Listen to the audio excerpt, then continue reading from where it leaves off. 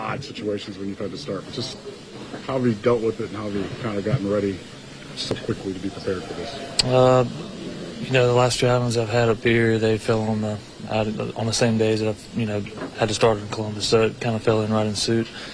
Um, I haven't really changed much, you know, just kind of going out there and trying to compete the best I can. Luke talked about maybe he called too many off-speed pitches early and said he liked the ride on your fastball. What did you think of it tonight? No, I just think I needed to. Um, I, I, I like the mix. Um, I just feel like I needed to put more balls in the zone. Um, you know, I didn't really locate my fastball all that well tonight, and you know, that being said, I didn't really locate any pitch, you know, extremely well tonight. But that's going to happen, and you know, I'm going to work hard every day to get better. So.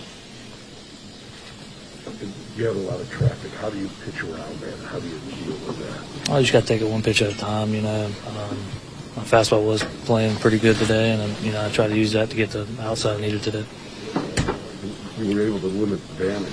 I mean, you know, for, for as many you know people that were on base. Yeah, yeah, it could, yeah, it could have got um, bad really quick, but you know I managed really well and um, tried to compete every pitch. So.